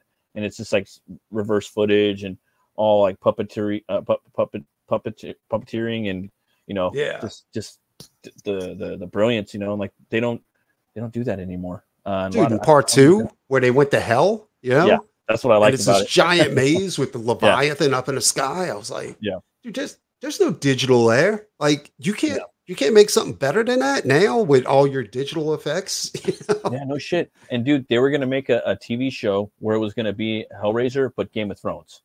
Yeah. All in hell. All in hell. I, Well- I don't know if you remember that, but you there's know, like I was image of it on Google. I would I would totally be down with that if they did Mm. it right. I don't trust them Oh, to do shit right nowadays, to be quite honest. Yeah, I, don't wanna, Um, I actually don't want them to do anything for like ten years. You know, I don't want them to do anything. I want them I want them to start hiring talent and not people they know that can work a computer. You know what I'm Yeah. saying? Because Yeah. it's not whatever they're doing isn't working. yeah, get know, some bigatures. Let's let's let's paint up some backgrounds. Let's get some people in some in some suits. Let's, let's hire some animatronic people. You know what I mean? I Let's get don't some know smoke. if- Let's get some mirrors. Like you don't really have to do everything digital. Like maybe erase some Exactly. wires. You know? But I don't know if they're if they have talented people working, but they're making movies by committee, you know? Oh yeah, and that's why it's turned out so bad, you know, or Yeah, it's all don't know, but- and, you know, even Oscars, you know, you have to have like a whole like just from the acting point of view, you got to have like check all these boxes of like diversity and whatnot. You know, like there's this Danish, crazy. there's this like Scandinavian film with Mads Mikkelsen out right now that's like pretty popular. They're like, oh well, there's not enough diversity in your movie, so it can't get an Oscar and That's shit. fucking stupid. Yeah, and they hit him up, and he, Mads Mikkelsen's like, I don't know, I, don't, I think he was just like, I think he kind of blew him off or some shit. I was trying to read an article, but it was a fucked up link. But yeah, man, like Uh. they're 100% committee, and just like, I don't know, like I eventually That's what like, they said about the Morbius movie. You know, like Yeah, Marvel. I I, was looking forward to Morbius because I was like, Did- did dude, you they see? Jared Leto in it. Yeah, I did. It was terrible. Yeah, like, because J- Jared Leto's short, right? And there's nothing wrong with being short. mm-mm. And uh, they they had Doctor Who playing the bad guy in there, right? And uh, yeah, yeah, one thing they kept doing, I thought it was really fucking stupid. Like when he turned into a vampire, like he would instantly turn into a vampire with fangs and everything, and then it'd be gone instantly. yeah. I was like, there's no that's the pain. worst thing ever. Why would you do that? There's no transformation. It's just Yeah, no vampire, drama, not a vampire. yeah, no suspense, like like a light switch. For for Well, me, no transformation. It's like it's No. like if somebody turned into a werewolf. they- A werewolf? Not a werewolf. You know, like hitting a light switch. You Yeah. what I'm saying? for, for me, what, what what turned me off, like, because I, I really like Morbius, dude. I liked him from the cartoon, even you know, too, and yeah. I, I and I always wanted to get the comics. You know, I always liked the the the, the iconography and the you know the, the the the pictures. I always wanted. There's always so many books too as a kid, like, oh, I'm gonna go back and buy that, and I never did. And I'm here, I'm an adult. I gotta go back and buy those, you know. Um, but with that character, um, in the in the movie, his his face, it seemed like when he would turn into a vampire, it would be CGI makeup. They would CGI the vampire. It was. It was all CGI. So it And- reminded me of that show Grimm, with it, like you know, I'm like, ah, I don't. Oh I- yeah, yeah, yeah. That's exactly what it Stop reminded. In CGI fact, and the makeup on the people like that shit really makes me mad. Like it, like it, like kind of turns me off. And it's it's not hard to fucking to like tape somebody's nose up, you know, to do the fucking. no, Morbius. no, it's not. it's the Like, easiest fucking makeup job. So why would you do that to? I don't know. So it's like that's what uh, dude, you saw Demeter, right? I heard you talking. Yeah, about dude, I did. But that's what I was telling Brian. I was like, dude, you, they're they're leaning way too heavy on CGI. You know what I'm Mhm. saying? Mhm. But they're also letting people dictate how they make movies. You know, Yeah. like investors. And these guys don't know shit about it. They're just trying to impress their wife or girlfriend. You know? Yeah. Yeah. You see that part right there? I made that decision. Yeah. You see where Morbius looks really short and and dumpy? That was me. I I did. thought, it, I thought it'd be cool. Did you like? So you like Demeter though? You like you like Demeter, right? A little bit. Dude, that was fucking It brutal. was dope, right? Like I liked it a lot. that. Me and my me and my homie went and seen it, you know, and I was like, yeah, let's go watch this movie, Doc. So we went we went and watched it, and um, like there was there there was scenes that like I don't know, some of it looked like CGI and some of it didn't, but I I liked that he was a fucking monster. I liked how he like kept changing- Exactly. he kept changing Yeah. through the whole movie. There there was some there was some scenes where you had you guessing of like if it was CGI or if it wasn't. You know what I mean? You know, And- one part, like one of my favorite parts of that movie is where the uh the asshole of the crew, right? He's on deck and he's doing Yeah. his rounds and he sees the vampire like in the shadows, like crawling on the ground like he's wounded. Oh, oh yeah. You dude. remember that Yeah, yeah, part? Yeah, yeah, yeah. And- it was dope, dog. And he like was one of the like, "Oh, what the fuck? And then like the vampire just kind of gets close enough and he just like, leaps "Uh." and slices the dudes through. You know? Yeah. Dude, it's Yeah, fucking dude. sick. He's dope. And he does a little. He does like a little smile in one scene where he's just like, yeah, yeah, yeah. Yeah, And then he said, like, cool. yeah, when he was when the guy was crawling up the uh whatever it is, you know, the, the Yeah. fucking I don't know, the rigging. the rigs. and Yeah, he looks, he's like, oh God, help. And he looks down and the guy's like, yeah, God help you. It's like running up there He, after. he says little liner, one little one liners. He did the fucking Ben Affleck. He's like, the dude said something to, to Dracula. and Dracula's like, "You will." Like, like yeah. the Batman vs Superman. But there was this Dude, that was cool though. You know what I'm saying? dope. like it wasn't. dope. Yeah, There- was a one scene though where it was like when he was when he was about spoilers, he was about to eat the kid, and it was he was in full makeup. It wasn't CGI or nothing, dude. And he just looks Really? over at him. It's full like Barlow Nosferatu scene, um, where he was just standing there and he looks over at you know they're trying to bust into the door because he's in the he's in the the captain's um uh, uh you know cabin or whatever you know yeah. and he looks over at him and he's just in full makeup and it's just this big spanish dude that plays him he plays a lot of the like he's in a lot of the horror movies now he always plays like he's like in slender Is that the dude where he's got this weird body? yeah like his dude. arms are super thin. Yeah, yeah dude Because I got him in my morgue file, right? Yeah, Because I, I keep like a morgue file of different body types. oh okay and his okay. was the craziest body type. I was like, Yeah, I gotta put this guy in my morgue Yeah. file, you know. and that fool's down as fuck like he was in, in the the new he, I, I say he plays eddie from iron maiden but he, he was in the new like the he was in like the last insidious 3 i don't know if you Yeah. saw that one where that dude was like looked like eddie from iron maiden he had the key finger. it was sick. Yeah, that was That's awesome. him. That was him and he um so they hired him Well, he usually just plays down. monsters because plays they can they can Yeah. like decorate this dude any way they want. You know what I'm saying? Mhm. He's just gonna look sick. and he's like, I'm down to play Dracula. I don't care what fucking who's doing the movie, what IP it is. Like, I'll play multiple Yeah. versions of Dracula. That's what he was saying. I'm like, this fool's dope, dude. Dude, it was down. badass, dude. And I, Yeah. I like the ending too. I like the ending when it was up in the pub. Um, Oh, like, dude, that was badass. Like it was I so was like the black and white Nosferatu movie. You know what I'm Yeah. saying? Like you could tell they used a lot of inspiration from that. Yeah. yeah, Fun Yeah, fact it. though, um, I don't know. You probably notice because you're a horror movie buff, but I don't know if a lot of people notice. Like at the end of Freddy versus Jason, you know, um, when there was supposed to have a fight in hell, right? yeah, And at the end of the fight, uh, the pinhead was supposed to come out and say, Now let the ba- games begin. But they cut that scene from the end of the movie. yeah. I, didn't- I know? didn't even know about that. I think I, I, Yeah, it was- I heard that was like in a script or something, but I don't know if they filmed it Yeah. or not. No, they never filmed it. It Oh, was okay. like they were, it was planned to be filmed, but they cut it from the, like you said, they cut it from the script. And because there was supposed to be a part two of Freddy versus Jason versus Oh, Hellraiser, Ash. you know? Oh yeah, yeah. and they never, dude. It was like that was like people, dude. They they could have just wrote their own checks at that point. You know Yeah, I'm dude. saying like, Like, people would have crowded to the theaters to see that shit. Like that's my favorite Freddy and Jason movie, and it has the best metal soundtrack of all time, dude. Like, Yeah. like it was so fucking good, and like the end of that movie, like it was too good. Like we didn't deserve how fucking good the end of that. no, that no, I thought it was full it was crazy. Jerry fucking comic book, Monty Python, dude. It, it was so fucking good, dude. I, I love that movie, man. Um, Well, that's one of the reasons why I used to like the old Freddy, uh, like the Nightmare on Elm Street movies, because Yeah. Freddy Krueger was like Bugs Bunny. He was like a horror version of Bugs Bunny. You know Totally, dude. totally. Like, and especially as the movies clicked on, like the first one, he was terrifying, bro. Like for me as a child, but like later on, like that, I, I don't know. For some reason, like I got to watch the first one, but I didn't get to see this, too many of the other ones, you know. And then, I, and then it became into bugs a lot more, you know. Like he's in the video game, and you know, like I think the Uh, first movies are always like the most horrifying, you know, the Yeah. scariest, you know. But after that, Oh. like um, they kind of free it up a little bit, you know. have fun, yeah. Yeah. That one, it's There's- like for me, it's it's the first one, then it's New Nightmare, and then it's Freddy versus Jason. But I like Yeah. oh, Jason's on new level. I like this cover too. It looks like it's digital, right? No, just I don't know. You see, now you got me thinking. Like at first I thought it wasn't, but this was created in 2014. I So think it's it's very possible this is digital. like for me, my gut says it's digital. This is definitely digital right here. The fire. and it, you know what's fucked up, dude? It's like now, like, you know, now, like, like if we had Midjourney, we could do this, right? And it would look pretty cool. yeah. Is- Isn't that fucked up? What's that? If we had what?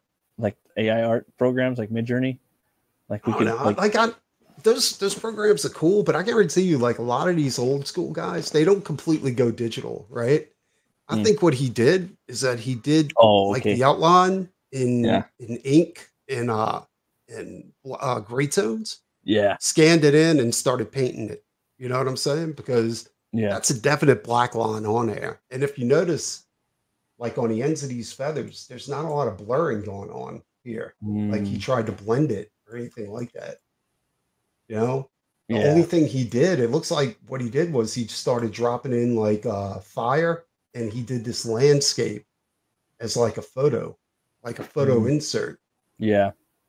Which is Like, what modern comic book colorists do a lot, you know, for the Yeah, backgrounds. yeah, exactly. Like I think all of that is is definitely digital. In fact, I know it is. Like I'm looking at it, it's definitely digital. But as far as the character himself, I guarantee you he did that traditionally. Like did the Looks outline cool. at least. It looks looks Yeah. dope. It's metal as fuck. I mean, it is what it is, you know. Fate Salvation is leaving us. See you later, Fade, man. Take it Thanks for easy, brother. by for the first show, bro. We are getting late on this, but I figure it's gonna be late, especially with these bigger bands because they got album covers all over the place, dude. I love this album minute. cover right here. That's the artist right there, Mark Wilkinson. Oh, I've And, heard of uh, him before. Yeah. He did he did some stuff for Iron Maiden. I put a call into him. I want to see if he'll come on. You know, at least one of these guys has to come on. And he also did this one, Firepower. yeah, I love that album cover, dude. Just Dude, this album cover is sick as fuck, dude. Look, Yeah. it's goddamn nuts. Just dumping, you know. and the album's cool, dude. That's my third favorite uh, Priest album. I don't. It is. It is what it is. Like uh, it's pretty heavy, dude. He gets down and like uh, he like allegedly like kind of lost his voice a little bit, you know. Um, and, Yeah. and on one of the, a few of their like newer releases, you know. And now it's back. Like this is the last one they did. I was I was like, damn, he got his fucking shriek back, you know. Um, Yeah, they're also using that. uh Yeah, look, they started. Inco- Did they do that on the last album? Did you notice that? Like using the cross in their logo. Oh yeah. oh, they yeah, did. Okay. Yeah. Yeah. You see something? Yeah, they started using it. Every now and then, switching it up. They started it. Yeah, they started using it right there too. It's, they did it upside down. Got on the forehead a little bit too, huh? Yeah, look Yeah. at that. That's badass. God, that's one of my favorites. Dude. That's so. That's right. It is. Yeah, and the album, the album is pretty like the, the song structures too. It's it's it's it's it's pretty um ambitious the way that they set up the song, like just the way that they're written. You know, they're almost progressive for like uh, in some way, not not fucking like prog or nothing like that. But I mean, they switch it up a lot the songs, and they're not like you know how we were talking about verse chorus verse chorus. It's not really like that so much. I've known I, from when I listened to it one time, I was like, oh, this is a little This different. is this is a good comparison actually. yeah, to, uh, so this was completely this was uh, completely done traditionally, and this is completely done di- well, almost You can see the difference, right? digitally. you can see the Yeah. difference, right? Um, what, what's your stance on AI, uh, Preston? Art. It's not it's not real AI. Well, I mean, it's a program, right? That that you just put. It's a into. program. Yeah, it's a program that's not. I mean, come on. If it was real AI, government shit that shit down so goddamn quick. Yeah, yeah. we need no machines thinking around here. What's your But, what's, your um, what's your opinion on it? On the on the program like Midjourney and It's stealing is what it is. That's all it is. You know, it's 100%, going right? around. It's it's yeah, dude. It, they're taking a little bit of me, a little bit of you, and a little bit of everybody else, and they're throwing it all together into this big collage until it forms something new. You know, Yeah, and that's why they're getting sued. You know, if it was real AI, then they wouldn't be getting sued. Right. know? no, Like, yeah, 'cause it's just a program. Um, yeah. I think uh well there's a couple of things I'm thinking, but like I still listen to like your boy Zach's videos and shit, and he's all like fucking full force, like AI art, oh like all about it, right? Of course he Um, I- is, because they ain't got to pay for it. Exactly. I love you too, on unhinged Jason. Jason uh Yo, what's up? chat. Thanks for coming by, brother. Um, but uh he's just saying like, you know, you gotta get on board, it's the way of the future, you know. Um no, it's not. it's the way of me, it's like keep it's like- going. it looks plastic and rubber. Like I've noticed, ev- like it looks dope. A lot of it looks dope, but it's like plastic and rubber. You know what I mean? Like it, it looks like plastic and rubber. A lot of it, you know, like Yeah. unless you're going full black and white. At least that's the way my eyes, like my eyes see it. Like damn, that looks like a piece of rubber. Like I can just like kind of molded Like fuck with. I don't know. It's weird. I mean, obviously they got the fingers like they're all fucked up and mangled and shit. You know. But um, You know, he there- just here's the that they're gonna thing. the- the whole comic. You know, eventually someday. Well, they they're- who knows? They probably already are. You know what Yeah. I'm saying? And that's where all the shitty art from Marvel is coming from. But Mhm. here's the thing: like, you do you know why like antiques are so popular? because they're so rare. May yes, a little bit. Another thing is that hand. people they're want something that's real. You know, right? They want The something original. organic and that's real and that hasn't Yeah. been pumped out by a plastics factory. You know? Exactly, dude. That's that's And, how I um, feel too, man. Hundred percent. So you start looking at art that way too, right? Like you look Yeah, at dude. so-called AI art, which hmm there's no such thing as AI art. You know what I'm saying? Like this isn't this is an AI, this is an art sampling program that it Yeah. uses to go and put in a big blender. Yeah, Blender. exactly. And like it's I don't know, dude, because here's the thing, like if it was real AI, then it would have style and technique. Yeah, know what I'm soul. saying? It would have a soul. Yeah. Like It would be a And then you form of wanna- artificial intelligence, right? You have to be you know an intelligence, not a program. who really didn't care about AI until it affected them was actors. Yeah, right. You know, now they're fucking screaming from the top of their lungs, "Don't use Yeah. my face!" You know, Yeah, right. Fuck that, I'm shit. dying. Fuck you. Exactly. And my kid's money, motherfucker. but you got to see it that way too. Like, I mean, yeah, who, Zach's saying that, like he's uh, like get on board with the future and all that oh, kind of for shit. sure. You know, and like I, I listen, I listen to, I still watch his shit. You know, like like, you know, that's how I found like the movement shit. So I'm always gonna be listening to this fuckers. Yeah. You know, Zach. I don't he- listen to Zach and them too much because But too, uh, well, he's Zach, still he- trying to he do the political bullshit. you Zach know? doesn't. He actually stopped. He's only dropping he like really? one video. He finally stopped. He dropped like Oh, he's dropping okay. like one video like fucking a week now, dude. Like not even that much. Which I'm like, all right, cool, man. Um, Well, fucking. Uh, but he was saying that, and I, I dropped a, a, a comment in there. I'm like, what if there was a movement, you know, like fucking, where people just uh made art by their hands, you know, and they had to order the or comic books by hands, and then they had to Yeah. fucking order the comic books from like a fucking catalog or off a website, and nobody. okay. What if the wave wave of the future? And this is another thing too. This is this is affecting writers too because Yeah. you know you got ChatGPT. What if um is that the wave of the future? Or are we just going to take the human element out of it completely and we're just going to instead of Zach writing comics, we're just going to have Chat, you know, GPT like write comics and then have AI do the art? You know what I'm mm-hmm. saying? I mean, what what does that say about you know what I'm saying? Where's the creativity at that point? You know? Well, I was just saying, like, what if, what if we just made comics and you know, we we people ordered them from a fucking magazine or off a website, and we didn't really show all the art from the comic. You know what I mean? Like, Yeah. it was you had to buy the comic to see the fucking art. You know what I mean? 'Cause as soon as you start putting the comic like promotional shit up there, maybe you have like three actual fucking images from your book. You know, I mean, you're not flooding it with images, and it's just, it's just, you know, it's not in the Google algorithm, and then people can't take it from Midjourney and whatnot. You know, you, you got a whole grassroots mo- uh, resurgence movement of, of comic books where people actually have to fucking order it or buy it from your website and they have no idea what it looks like really you know I wouldn't. I wouldn't buy those. I wouldn't Yeah, buy yeah. those comic. no you have to see more of the art huh I would because that's that's what that's what hooks me. You know what I'm saying? Like it's like I see I see a couple of panels. I'm like, okay, I'm I'm backing that. You know, yeah but like I, it just it, it really amazes me that Zach gets is willing to get behind something like that.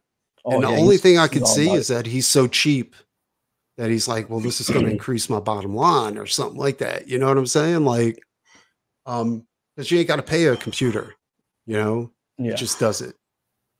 I just, um, I don't know. That seems like it almost feels like, like, like he's like you're being stabbed in the back a little bit. You know what I'm saying? Like, yeah fight for creators' white rights, but then take away the creativity out of the creation. Yeah. for me i'm just like full stop like fuck ai and its dirty asshole um i don't like in or however you want to call it i just i'm compiled art you know i'm just totally Yeah. about organic human wild art always said, dude, like if it's really if it's good, people are going to buy it. You know, Mhm. like you can have a Mhm. thousand projects out there, but if yours is really good, right people are going to ignore all those other projects, go straight to yours. You know, Yep.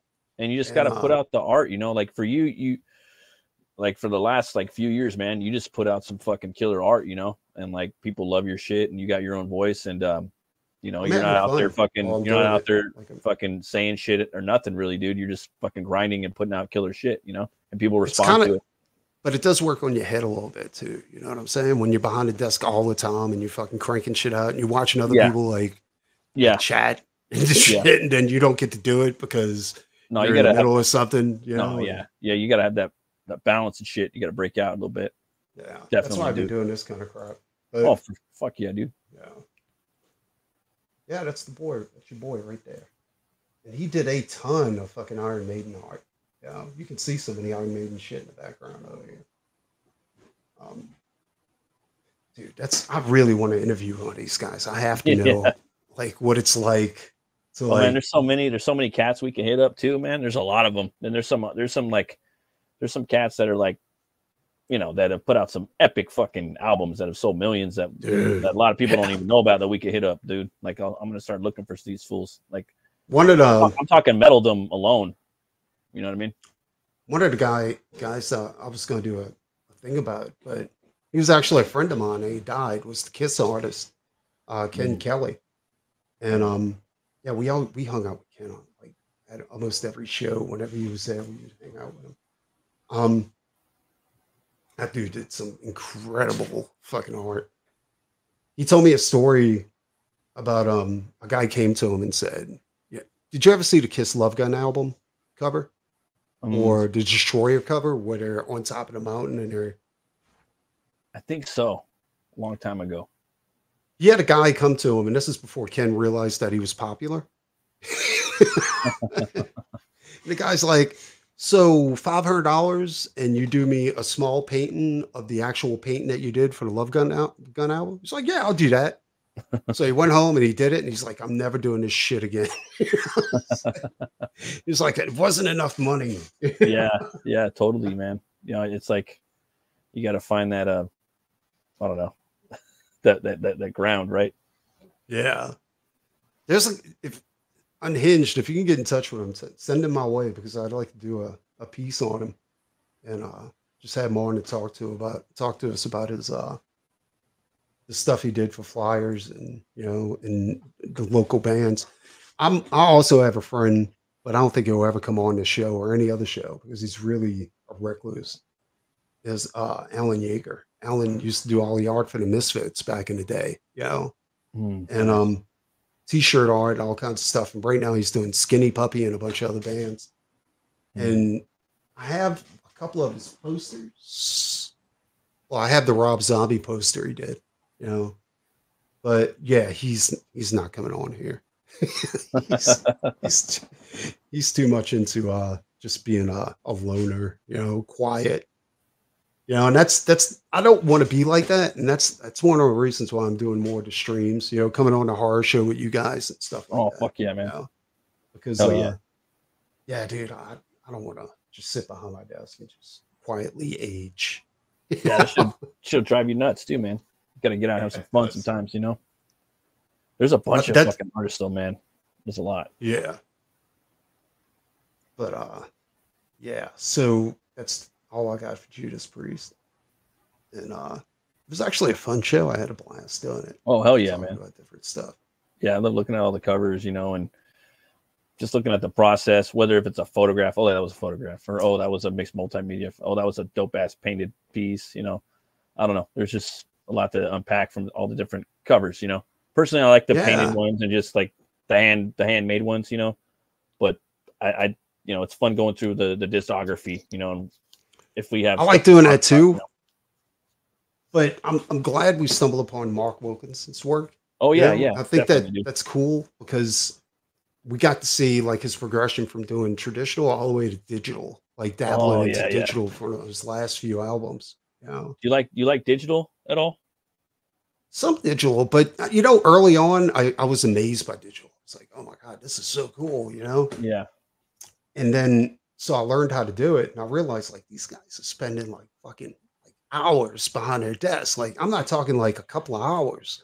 Like these dudes are spending like 30 or 40 hours doing one piece, you know? Yeah, because you can zoom in and keep zooming in, right? Yeah, but when you little, print like, it, you can't, you're not going to see any of that. shit, you know what I'm saying? Yeah. Like And there was this I video I st- seen. Oh, sorry. No, no, keep, go ahead. Well, there was this video I seen where some dude drew a mouth, and then inside that mouth was another mouth, and then it would go down an esophagus, and then another one. Like 'cause you just keep, could keep zooming in with digital art, and none of Yeah. that. Like it kept going and going and going, kept zooming into mouths upon mouths upon mouths. It just kept, kept traveling esophaguses, right? I don't know if that's the right way to say it, but it was just going down an esophagus trail of mouths, right? Um, you could probably see it on Instagram or fucking Twitter or somewhere on the YouTube, but none of that is visual. Like you can't see that if you're going to print it in a comic book. So it's Well, just like that's- like I even find myself now like as a greenhorn stepping back and looking like dude a step take like literally put the thing on the table and walk back from it and look at it you know what I mean and then okay now put it in the mirror you know yeah. like look at it that way and um uh is it gonna print is it read you know That's what I'm saying. Like the shit never prints right. You know what I'm saying? Like you're never gonna see that. You know what I'm and he just wasted like a month doing all of that.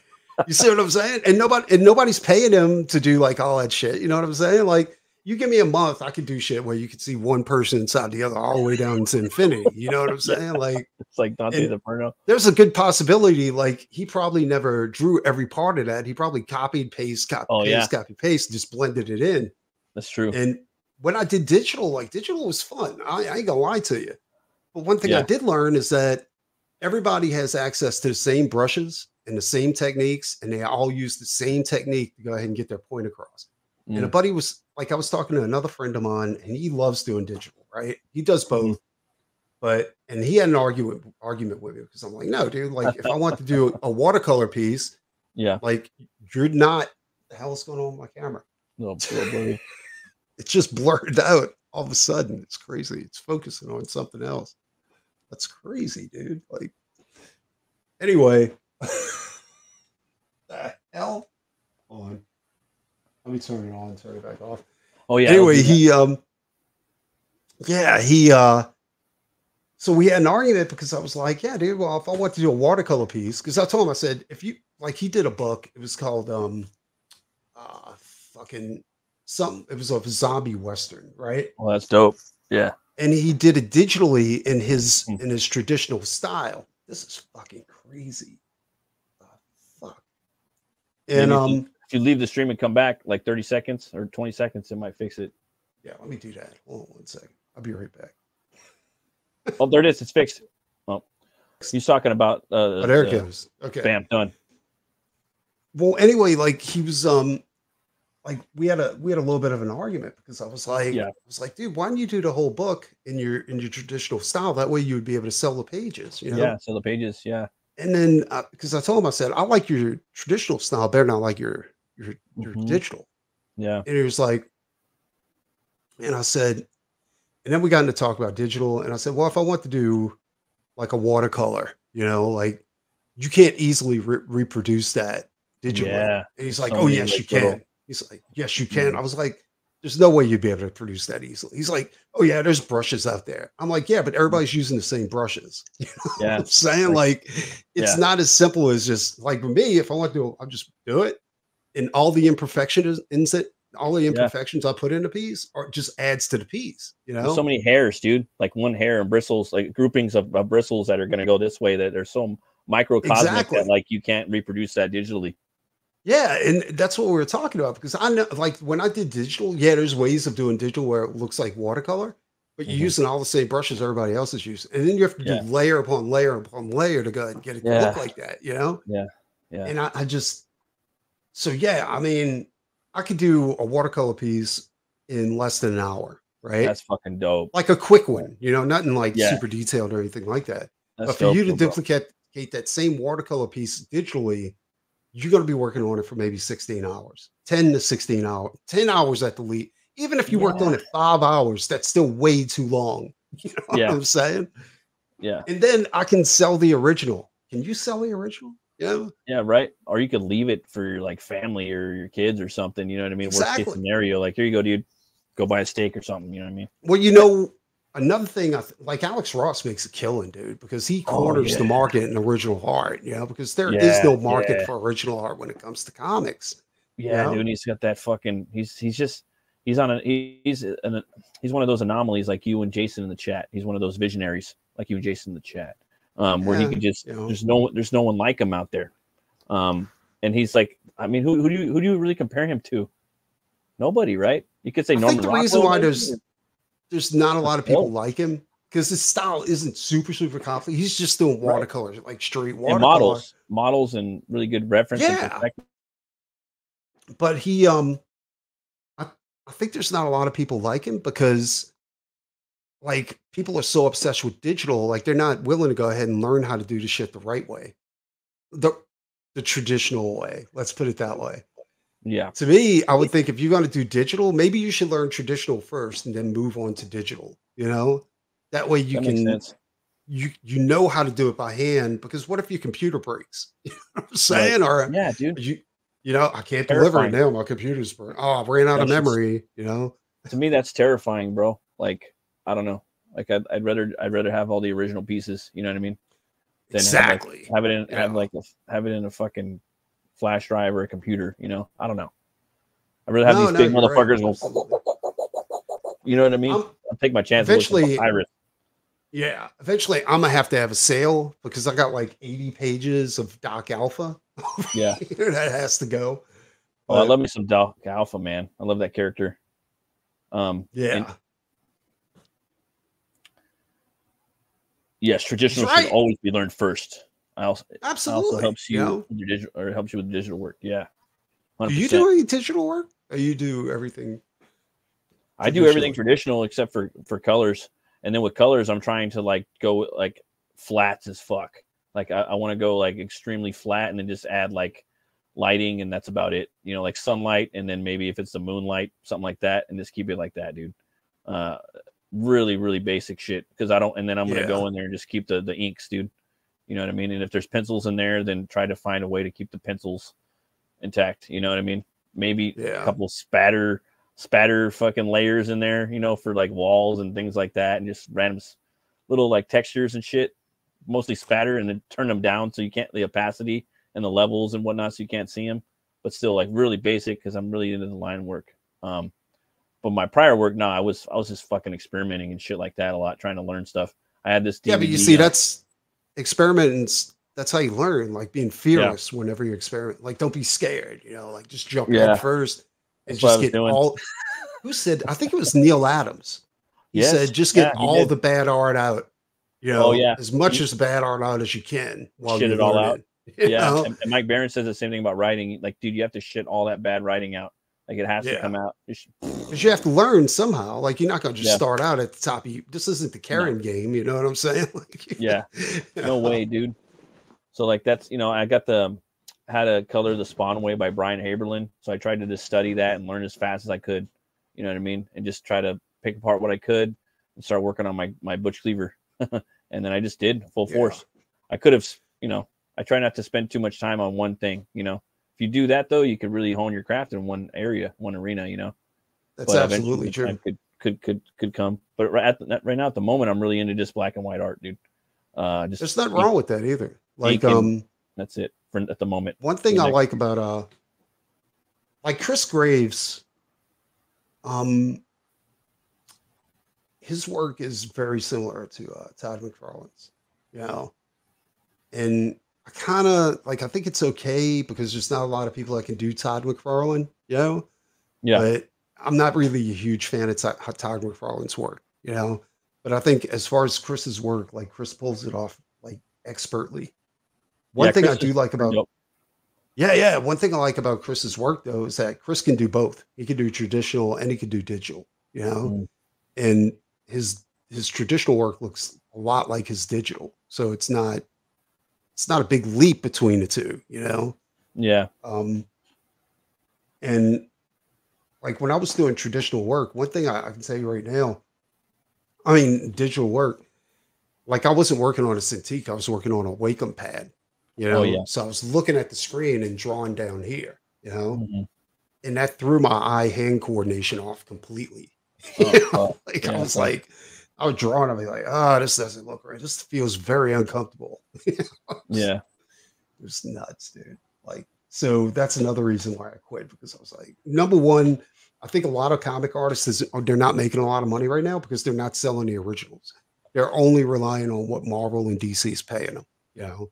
Yeah. And if they get commissions at shows, then they'll they'll get some of that. But dude, you have to. That's part of the game too. That's part of your income is going ahead and, and selling those original pieces. You know. Hell yeah, man. Um, yeah. you got to do I that, think- man. I think maybe we should end this. For sure, man. Get ready for next week when we do. I don't know. What do you think we're going to do next week? Do Maiden, We dude. don't have. We can do Maiden. We can do Slayer. We can do Slayer's got some really interesting artwork on their Oh, yeah, they stuff do. too, dude. So does yeah, Cannibal. do So Maiden. does Cannibal Corpse. Yeah, Cannibal Corpse, Slayer, Mm-hmm. Danzig. Dude, there's so we're just gonna do a big raffle and see who we got. There's so many. I guess we'll just figure it out. Yeah. This We'll figure it gonna out. We'll throw some fucking Cradle of Filth. Cradle of Filth. Like there's a there's a bunch, dude. There's there's a whole lot, a lot of you know. Hey, thanks, Unhinged. Jason. That's Jason, right? Yep. Jason Bascom right there. Jason Baskin. All right. Yeah, I'm gonna end it. See you guys later. Peace. Here's the uncomfortable moment.